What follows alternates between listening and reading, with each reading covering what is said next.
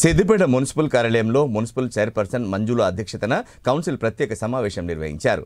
ఈ సమావేశంలో కౌన్సిల్ సభ్యులు కోఆప్షన్ సభ్యులను ఎన్నుకున్నారు. మున్సిపల్ కౌన్సిల్లో నలుగురు కోఆప్షన్ సభ్యులకు అవకాశం ఉండగా అందులో రెండు జనరల్ కేటగిరీ రెండు మైనార్టీ కేటగిరీలో ఉన్నాయి. జనరల్ కేటగిరీలో పిడిశెట్టి సత్తయ్య బచ్చు సుజాతలను మైనార్టీ కేటగిరీలో రుక్సానా మొహమ్మద్ సయీద్లను మూజువాణి పద్ధతిలో ఎన్నుకున్నారు. అనంతరం Siddipet municipal in charge commissioner Mahesh ఎన్నికైన కోఆప్షన్ సభ్యులకు నియామక పత్రాలను అందజేసి వారిచే ప్రమాణ స్వీకారం చేయించారు. ఎన్నిక ప్రక్రియ అనంతరం కౌన్సిల్ సాధారణ సర్వసభ్య సమావేశం నిర్వహించి ఎజెండాను ఆమోదించి సమావేశాన్ని ముగించారు. కార్యక్రమంలో వైస్ చైర్మన్ కనకరాజు కౌన్సిలర్లు మున్సిపల్ అధికారులు పాల్గొన్నారు.